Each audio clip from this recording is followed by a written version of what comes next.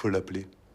Où l'ange inviolé se mêle au sphinx antique. Faut l'appeler, je vous dis. Bon, André, je fais passer beaucoup plus de choses par l'écrit. D'accord? C'est incroyable, non? D'accord, mais moi je vais trouver son numéro de téléphone parce que ça commence à me stresser, votre truc là. Eh oh Putain, elle vient de Dunkerque, c'est pas bon ça.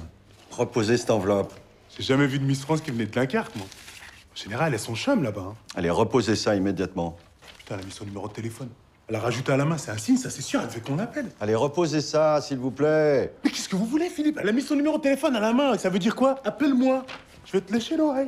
Mais oui Mais Bien sûr, Philippe. Vous l'appelez pas, hein? Elle s'en fout de la poésie, elle. Six mois de poésie, elle. Il est- il est- il est Téléphonez-moi. malade, ce mec. Je vous Je m'en kiffe. fous, je parle pas.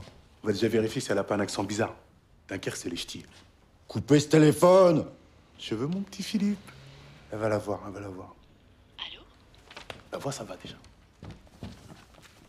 Allô Non. Non.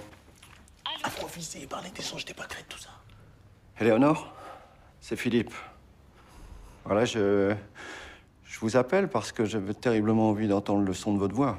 Et je dois dire que rien que ce petit allô, je suis comblé. Ne quittez pas, je vous la passe. Phrase de 3 km, faites plus simple. Allô Oui, Éléonore, c'est Philippe?